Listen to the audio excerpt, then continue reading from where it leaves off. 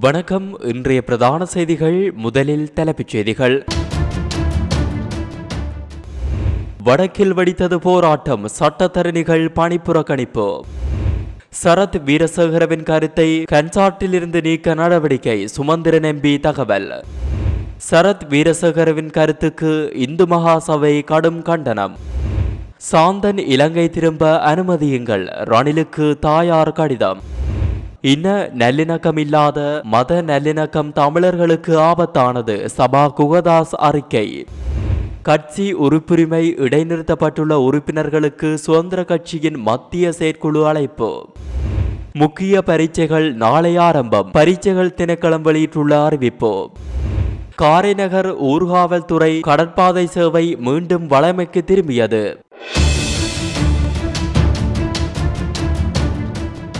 ஆளும் கட்சி நாடாளுமன்ற உறுப்பினர் சரத் வீரசேகர நாடாளுமன்றத்தில் தமிழ் நீதிபதிகளை அவமதிக்கும் வகையில் தெரிவித்த கருத்துக்கு எதிர்ப்பு தெரிவித்து வடக்கு மாகாண சட்டத்தரணிகள் இன்று பணிப்புறக்கணிப்பை முன்னெடுக்கின்றனர். வடக்கு மாகாணத்தில் உள்ள சட்டத்தரணிகள் இன்று எந்த வழக்கு நடவடிக்கைகளிலும் பங்கு கொள்ளவில்லை. குருந்தூர் மலையில் நீதிமன்ற கட்டளையை மீறி சட்டவிரோதமாக விகாரை கட்டுமானங்கள் முன்னெடுக்கப்பட்டு வருகின்றன என்பதற்கு அமைவாக அண்மையில் அந்த பகுதிக்கு முல்லைத்தீவு மாவட்ட நீதிபதி நேரில் சென்று கள ஆய்வுகள் மேற்கொண்டுள்ளார். அந்த சந்தர்ப்பத்தில் அங்கு சென்ற நாடாளுமன்ற உறுப்பினர் சரத் வீரசேகர நீதிபதியின் கள ஆய்வு நடவடிக்கையில் குறுக்கிட முயன்ற போது அங்கிருந்து நீதிபதியின் உத்தரவுக்கு அமைய அகற்றப்பட்டார். இந்நிலையில் முல்லைத்தீவு மாவட்ட நீதிபதியை கடுமையாக சாடும் வகையில் நாடாளுமன்ற உறுப்பினர் சரத் வீரசேகர கருத்து வெளியிட்டிருந்தார். தங்களை அங்கிருந்து வெளியேற்ற நீதிபதிக்கு அதிகாரமில்லை என்றும் இலங்கை ஒரு சிங்கள பௌத்த நாடு என்பதை முல்லைத்தீவு மாவட்ட நீதிபதி விளங்கிக் கொள்ள வேண்டும் என்றும் அவர் குறிப்பிட்டுள்ளார். நீதிமன்றத்தையும் நீதிபதி நீதிபதியையும் அவமதிக்கும் வகையில் தொடர்ச்சியாக கருத்துக்களை வெளியிட்டு வரும் நாடாளுமன்ற உறுப்பினர் சரத் வீரசேகரவிற்கு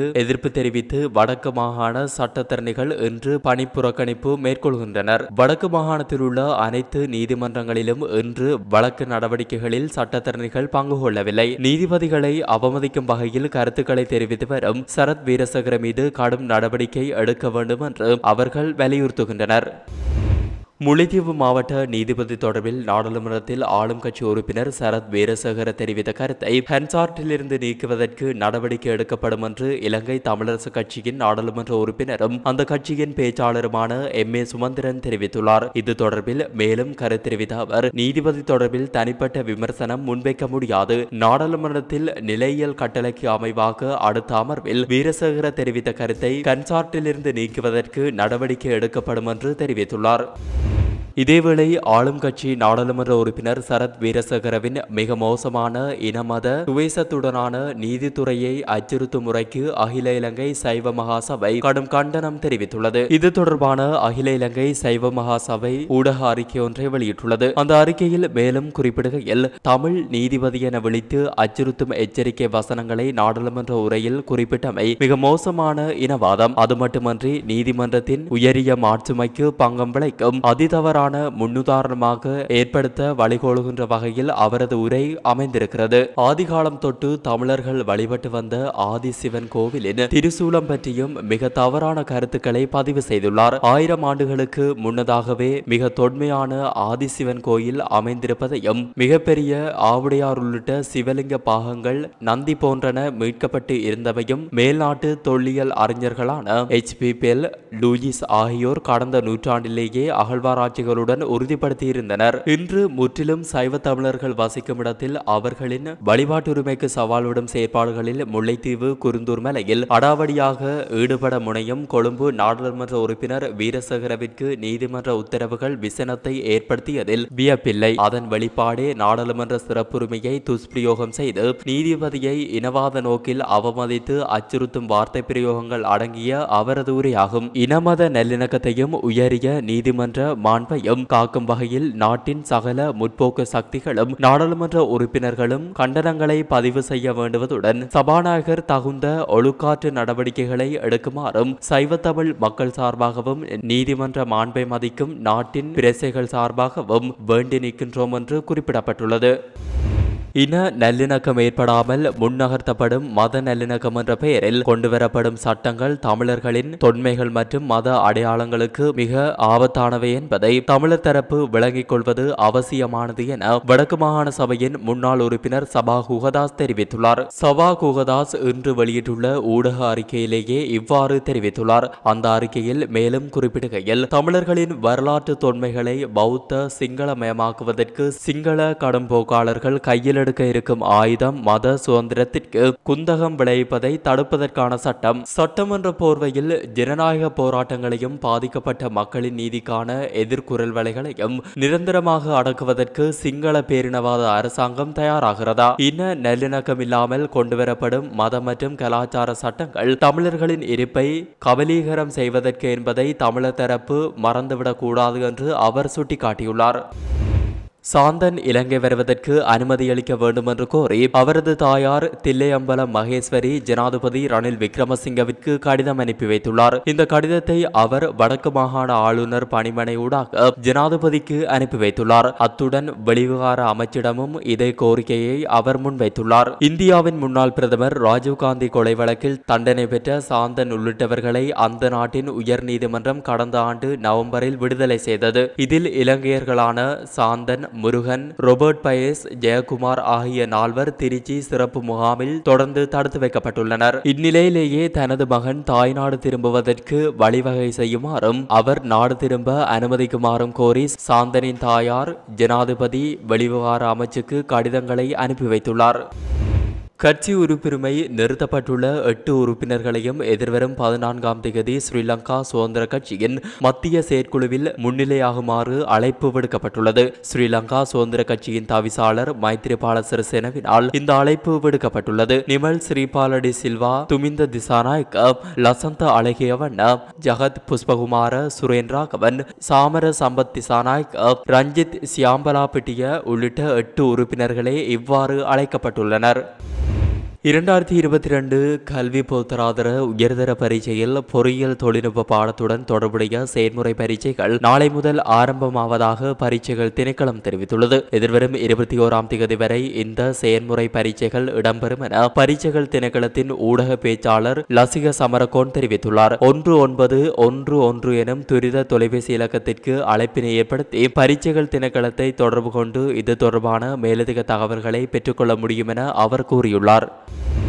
இதேவேளை கல்வி பொருத்தராதர உயர்தர பரீட்சை விடைத்தாள் மதிப்பீட்டு பணிகள் ஆகஸ்ட் முதல் வாரம் அளவில் நிறைவடையும் எனவும் அதற்கமைய ஆகஸ்ட் இறுதியில் பெறுபர்களை வெளியிட எதிர்பார்த்துள்ளதாகவும் கல்வி அமைச்சர் சுசில் பிரேம்சேந்த தெரிவித்துள்ளார். இதேவேளை இவ்வாண்டுக்கான உயர்தர பரீட்சைகளை எதிர்வரும் நவம்பரில் நடத்தவும் சாதாரணதர பரீட்சைகளை இரண்டாயிரத்தி இருபத்தி நான்கு மார்ச்சிலும் நடத்த உத்தேசித்துள்ளதாகவும் அவர் தெரிவித்துள்ளார். ஜனாதிபதி ஊடக மையத்தில் நேற்று நடைபெற்ற ஊடகவியலாளர் மாநாட்டில் கலந்து கொண்டு கருத்து தெரிவித்த அவர் மேலும் தெரிவிக்கையில் உயர்தர பரீட்சையில் ஐம்பத்தி இரண்டு பாட விதானங்களில் முப்பத்தி ஆறு லட்சம் விடைத்தாள்களை மதிப்பிட வேண்டியுள்ளது. இந்த பணிகளில் பல்கலைக்கழக பேராசிரியர்கள் ஆயிரத்தி முன்னூறு பேர் பங்கேற்றுள்ளனர். நடைமுறை பரீட்சைகள் சிலவற்றை நடத்த வேண்டியுள்ளது. அவை நிறைவடைந்ததன் பின்னர் ஆகஸ்ட் முதல் வாரத்தில் சகல மதிப்பீட்டு பணிகளும் நிறைவடையும். அதற்கேற்ப ஆகஸ்ட் இறுதியில் பெறுபேறுகளை வெளியிட எதிர்பார்த்துள்ளோம். அத்தோடு இவ்வாண்டுக்குரிய உயர்தர பரீட்சைகளை நவம்பரில் நடத்த திட்டமிடப்பட்டுள்ளது. டிசம்பர் நத்தார் பண்டிகைக்கு முன்னர் உயர்தர பரீட்சைகளை நடத்தி முடிப்பதே எமது இலக்காகும். அதேபோன்று இவ்வாண்டுக்கான சாதாரணதர பரீட்சைகளை இரண்டாயிரத்தி இருபத்தி நான்கு மார்ச்சில் நடத்த திட்டமிடப்பட்டிருப்பதாகவும் அவர் தெரிவித்துள்ளார். இரண்டாயிரத்தி இருபத்தி நான்கில் அந்த ஆண்டு நடத்தப்பட வேண்டிய சகல தேசிய பரீட்சைகளையும் நடத்தி முடிப்பதற்கான திட்டமிடல்களும் முன்னெடுக்கப்பட்டுள்ளன என்றும் அவர் தெரிவித்துள்ளார். கண்டி தேசிய வைத்தியசாலையின் சிறுநீரக பிரிவில் சிகிச்சை பெற்று வந்த ஏழு நோயாளிகள் இரண்டு மாத காலப்பகுதியில் உயிரிழந்துள்ளனர். இதற்கு உபகரணங்களில் ஏற்பட்ட கோளாறே காரணம் என வைத்தியசாலை அதிகாரிகள் சந்தேகம் வெளியிட்டுள்ளனர். கண்டி தேசிய வைத்தியசாலையின் சிறுநீரக பிரிவில் சிகிச்சை பெற்று வந்த எழுபத்தி எட்டு வயதுடைய நோயாளியொருவர் நேற்றைய தினம் உயிரிழந்துள்ளதுடன் அவர் உள்ளூர் வைத்தியசாலை வைத்தியரின் தந்தை என தெரிய வந்துள்ளது சிறுநீரகம் செயலிழந்த நபரின் சிறுநீரகங்கள் தொன்னூற்றி மூன்று சதவீதத்தில் சதவீதத்திற்கும் அதிகமாக செயற்படாமல் இருந்ததால் அவர்கள் சிகிச்சைக்கு பரிந்துரைக்கப்படுகிறார்கள். ஏனைய நோயாளிகளுக்கு வீட்டிலிருந்து சிகிச்சை பெற பரிந்துரைக்கப்படுகிறது. மற்றும் நோயாளிகளுக்கு தேவையான உபகரணங்கள் வைத்தியசாலை மூலமே வழங்கப்படுவதாக தெரிவிக்கப்படுகிறது. காரைநகர் ஊர்காவல்துறை கடற்பாதை சேவை மீண்டும் வளமைக்கு திரும்பியுள்ளது. காரைநகர் ஊர்காவல்துறை கடற்பாதையானது கடந்த சில வாரங்களுக்கு முன்னர் கடலில் உடைந்து விழுந்தது. இதனால் காரைநகரிலிருந்து ஊர்காவல்துறைக்கும் ஊர்காவல்துறையிலிருந்து காரைநகருக்கும் பயணம் செய்யும் அரச உத்தியோகத்தர்கள் அன்றாட தொழிலாளர்கள் மாணவர்கள் நோயாளிகள் பொதுமக்கள் உட்பட பலர் பாதிக்கப்பட்டனர். இந்நிலையில் குறித்த கடற்பாதையின் புனரமைப்பு பணிகள் கடந்த சனிக்கிழமை நிறைவுற்றுள்ள நிலையில் நேற்று திங்கட்கிழமையிலிருந்து வழமையான நேர அட்டவணையின்படி சேவைகள் இடம்பெறுவதாக காரைநகர் பிரதேச சபையின் முன்னாள் தவிசாளர் திரு பாலச்சந்திரன் தெரிவித்துள்ளார். இந்த கடற்பாதையானது பல தடவைகள் கோளாறுக்கு உள்ளாகி திருத்தம் செய்யப்பட்டு இயக்கப்பட்டு வருகின்றமை குறிப்பிடத்தக்கது. புலனறுவை மன்னம்பட்டி பகுதியில் நேற்று இடம்பெற்ற பேருந்து விபத்தில் உயிரிழந்தவர்கள் சிலரின் அடையாளங்கள் இதுவரை உறுதிப்படுத்தப்படவில்லை என தெரிவிக்கப்படுகிறது. மன்னம்பட்டி விபத்தில் பதினோரு பேர் உயிரிழந்துள்ளதுடன் நாற்பதுக்கும் மேற்பட்டோர் காயமடைந்த நிலையில் வைத்தியசாலைகளில் சிகிச்சை பெற்று வருகின்றனர். விபத்தில் கிழக்கு பல்கலைக்கழக மாணவர்கள் இருவர் உட்பட பத்து ஆண்களும் ஒரு பெண்ணும் உயிரிழந்துள்ளதாக மன்னம்பட்டி போலீஸ் நிலைய கட்டளை தளபதி அசேல சரத்குமார தெரிவித்துள்ளார். மேலும் புறவெவ வெளிகந்த பகுதியைச் சேர்ந்த பதினெட்டு வயதுடைய இளைஞனும் விபத்தில் சிக்கி உயிரிழந்துள்ளார். கொழும்பில் தனியார் துறையில் பணிபுரிந்து வரும் இளைஞன் தனது பாட்டியின் மரண வீட்டிற்கு செல்வதற்காக தனது பெற்றோருடன் பேருந்தில் சென்ற நிலையில் பரிதாபமாக உயிரிழந்துள்ளார். இந்த விபத்தில் உயிரிழந்தவர்கள் கல்முனை மற்றும் அக்கரைப்பற்று பிரதேசங்களை சேர்ந்தவர்கள் எனவும் உயிரிழந்தவர்களில் சிலரின் தகவல்கள் உறுதி செய்ய முடியவில்லை எனவும் இவர்களது சடலங்கள் பிரேத பரிசோதனைக்காக புலனறுவை பொது வைத்தியசாலையில் வைக்கப்பட்டுள்ளதாகவும் தெரிவிக்கப்படுகிறது. குறித்த பேருந்து விபத்தில் மன்னம்பட்டி போலீஸ் போலீசார் ராணுவம் விசேட அதிரடிப்படையினர் கடற்படையினர் உட்பட பிரதேசவாசிகள் சுமார் மூன்று மணித்தியாலங்கள் இணைந்து பேருந்தில் சிக்கி காயமடைந்த சுமார் நாற்பத்தி ஒரு பேரை மீட்டு மன்னம்பட்டி மற்றும் புலனறுவை வைத்தியசாலைகளில் அனுமதித்துள்ளனர். பேருந்து சாரதியின் கவனக்குறைவே இந்த விபத்திற்கு காரணம் என விசாரணையில் தெரியவந்துள்ளதாக மன்னம்பட்டி போலீசார் தெரிவிக்கின்றனர். புலனறுவை சிரேஷ்ட போலீஸ் அத்தியட்சகர் நிஷாண்டி சில்வாவின் பணிப்புரையின் பேரில் விபத்து தொடர்பிலான மேலதிக விசாரணைகளுக்காக கொமாண்டோ படை மாதுருவோயா மற்றும் வெளிகந்த ராணுவ முகாமின் நீச்சல் பிரிவுகள் மற்றும் பாதுகாப்பு தரப்பினரும் இணைந்து விசேட நடவடிக்கையை ஆரம்பித்துள்ளனர். இந்த வருடம் ஜனவரி முதலாம் திகதி முதல் ஜூலை ஒன்பதாம் திகதி வரையான காலப்பகுதியில் ஆயிரத்தி நூற்றி இருபத்தி ஆறு வாகன விபத்துகள் பதிவாகியுள்ளதாக போலீசார் தெரிவிக்கின்றனர். விபத்துகளில் ஆயிரத்தி நூற்றி தொண்ணூறு பேர் உயிரிழந்துள்ளதாக போலீஸ் ஊடக பேச்சாளர் சிரேஷ்ட போலீஸ் அத்தியட்சகர் சட்டத்தரணி நிகால் தல்துவா தெரிவித்துள்ளார். சாரதிகளின் கவனையினத்தால் அதிகளவிலான வாகன விபத்துகள் பதிவாகுவதாக போலீசார் தெரிவிக்கின்றனர். இதேவேளை கிழக்கு மாகாணத்தில் சுமார் ஐம்பது முதல் அறுபதுக்கும் இடைப்பட்ட தனியார் பேருந்துகள் சட்டவிரோத பயணிகள் போக்குவரத்து சேவையில் ஈடுபடுவதாக இலங்கை தனியார் பேருந்து உரிமையாளர் சங்கம் குற்றம் சுமத்தியுள்ளது. இது தொடர்பான முறைப்பாடு அடங்கிய தகவல்கள் எமக்கு கிடைக்கப்பெற்றுள்ளதாக அந்த சங்கத்தின் தலைவர் கெமுனு விஜயரத்ன தெரிவித்துள்ளார். கையூட்டல் வழங்கி போலியான வழித்தட அனுமதி பத்திரங்களை பெற்றுள்ளதாக அவர் குறிப்பிட்டுள்ளார். குறித்த போலி வழித்தட அனுமதி பத்திரங்களை விநியோகிக்கும் அதிகாரிகள் மற்றும் ஏனைய முறைகேடுகள் தொடர்பில் ஜனாதிபதியின் கவனத்திற்கு கொண்டு செல்லவுள்ளதாகவும் அவர் தெரிவித்துள்ளார். இது தொடர்பில் கிழக்கு மாகாண பிரதிநிதிகள் காவல்துறையினர் முன்னாள் ஆளுநர்கள் கையூட்டலுக்கு எதிரான ஆணைக்குழு ஆகியோருக்கு பல தடவைகள் தமது சங்கத்தினர் அறியப்படுத்தியுள்ளதாகவும் கெமினு விஜயரட்ன தெரிவித்துள்ளார்.